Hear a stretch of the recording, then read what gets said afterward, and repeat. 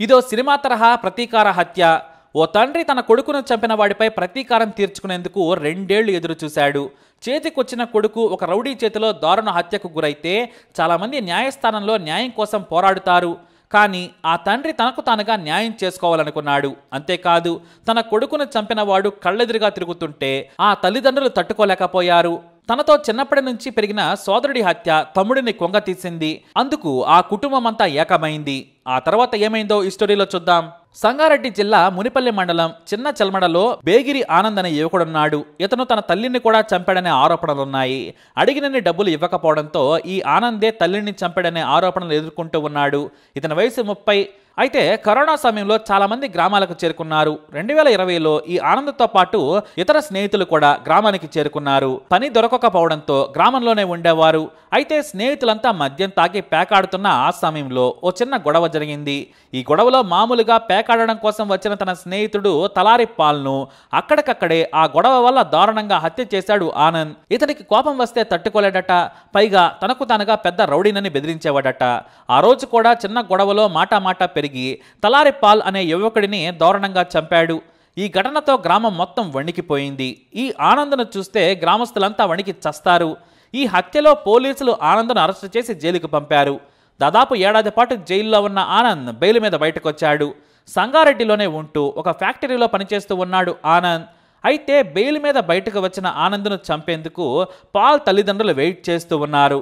కళ్ళ ముందే కొడుకును దారుణంగా చంపిన వాడు హాయిగా బయటకు వచ్చి విందు వినోదాలతో ఎంజాయ్ చేస్తుంటే తట్టుకోలేక తల్లడిల్లిపోయారు. ఆనంద్ చేతిలో చనిపోయిన పాల్ తండ్రి తలారి అంబయ్య అదును కోసం ఎదురు చూడటం మొదలుపెట్టాడు. అందుకోసం ఏకంగా ఆనంద్తో కూడా సన్నిహితంగా ఉంటున్నాడు. ఇటు అంబయ్య భార్య స్వరూప కూడా తన కొడుకును చంపిన దుర్మార్గుడు బ్రతకడానికి వీలులేదని పగతో రగిలిపోతుంది. తన సోదరుడిని చంపిన వాడిని ఏమైనా చేసేందుకు నేను సిద్ధం నానా అంటూ అంబారికి తోడయ్యాడు అతని కొడుకు ప్రేమ్దాస్. తన సోదరుడిని చంపిన వాడిని తానే చంపాలనుకున్నాడు. కానీ తల్లిదండ్రులు మాత్రం తామే పగ తీర్చుకోవాలనుకున్నారు. ఇక ఆనంద్ బయటకు వచ్చి గ్రామంలోని వారితో సరదాగా ఉంటున్నాడు. అంతేకాదు మద్యం తాగితే మాత్రం నోటికొచ్చినట్లు మాట్లాడి భయభ్రాంతులకు గురి చేసేవాడు. ఇంకో నలుగురిని చంపుతాను. వారిని చంపితే కానీ నా తడాక ఏంటో తెలియదని బెదిరించేవాడు. దీంతో గ్రామస్తులంతా ఈ ఆనంద్కు దూరంగా ఉండేవారు. అయితే సంగారెడ్డిలో ఉంటున్న ఆనంద్ అప్పుడప్పుడు స్వగ్రామమైన చిన్న చెల్మడకు వచ్చి వెళుతూ ఉండేవాడు. బంధువుల ఇళ్ళలో వేడుకలుంటే హాజరయ్యేవాడు. ఇలానే పదవ తేదీన తన స్నేహితుడైన మాజీ గ్రామ సర్పంచ్ గృహప్రవేశ కార్యక్రమానికి హాజరయ్యాడు. ఆనంద వస్తున్నాడని ముందుగానే తెలుసుకున్నారు తలారి అంబయ్య. తన కొడుకును చంపిన దుర్మార్గుడిని చంపి ప్రతీకారం తీర్చుకోవాలనుకున్నారు. ఇందుకోసం తన భార్య స్వరూప కొడుకు ప్రేమదాసులను సిద్ధం చేశాడు. పదునైన వేట కొడవలను సిద్ధం చేసుకున్నారు. కళలో కారం చల్లి మర్డర్ చేయాలనుకున్నారు. అయితే ఆయుధాలు కనిపించకుండా జాగ్రత్త పడాలనుకున్నారు. లేదంటే ఏమాత్రం అనుమానం వచ్చినా ఎదురుదాడి చేస్తాడు. ఆనందకు అస్సలు ఛాన్స్ ఇవ్వకూడదనుకున్నారు. ఇక మొత్తానికి సిద్ధమయ్యారు. అలాగే జనం కూడా లేని సమయంలో చంపాలనుకున్నారు. శుక్రవారం అంటే నవంబర్ పదకొండున ఉదయం మార్నింగ్ వాకుకు వెళ్ళి కాలకృత్యాలు తీర్చుకొని వచ్చాడు ఆనంద్. అంతేకాదు ఇతరులతో మాట్లాడుతూ మాజీ సర్పంచ్ ఇంటి ముందు నిల్చున్నాడు.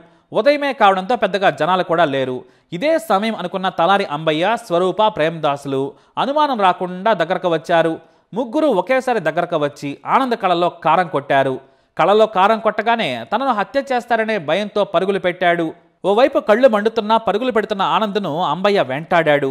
అతనికి రక్షణగా కొడుకు భార్య వెంట వస్తూనే ఉన్నారు. పరిగెడుతున్న ఆనంద్ను వెంటాడిన అంబయ్య ఒకేసారి వెనుక నుంచి బలంగా భుజంపై కత్తి వేటు వేశాడు. దీంతో కింద పడిపోయాడు ఆనంద్. అంతేకాదు రక్తపు మడుగులో ఉన్న ఆనందను గ్రామ కూడలికి ఈడ్చుకొని వచ్చారు. నా కొడుకును చంపుతావా అంటూ తల నరికేశారు. కొన ఊపిరితో ఉన్న ఆనందను అందరూ చూస్తుండగానే నా కొడుకును చంపి దర్జాగా తిరుగుతావా అంటూ అంబయ్య ఆగ్రహం వ్యక్తం చేశాడు. ఇంకా కొన ఊపిరితో కొట్టుమిట్టాడుతున్న ఆనందను అందరూ చూస్తుండగానే రెండు చేతులు నరికేశాడు. వాటిని శరీరం నుంచి వేరు చేసి పక్కన పెట్టారు. మొత్తం ప్రాణం పోయే వరకు అక్కడే ఉండి ఇంటికెళ్ళారు ఆ తర్వాత తామే ఆనందను చంపామని పోలీస్ స్టేషన్కి వెళ్ళి లొంగిపోయారు తలారి అంబయ్య కుటుంబ సభ్యులు. పేగు బంధాన్ని తెంచిన వాడిపై ప్రతీకారం తీర్చుకున్నాడు తండ్రి. నవమాసాలు మోసి పెంచిన కొడుకును చంపిన వాడిని చంపి స్వరూప సైతం పగదీర్చుకుంది చిన్నప్పటి నుంచి కలిసి పెరిగిన వాడిని దూరం చేసిన ఆనంద్ను తెగనరికాడు పాల్ సోదరుడు ప్రేమ్ దాస్. ఈ ఘటన జిల్లా వ్యాప్తంగా సంచలనం సృష్టించింది.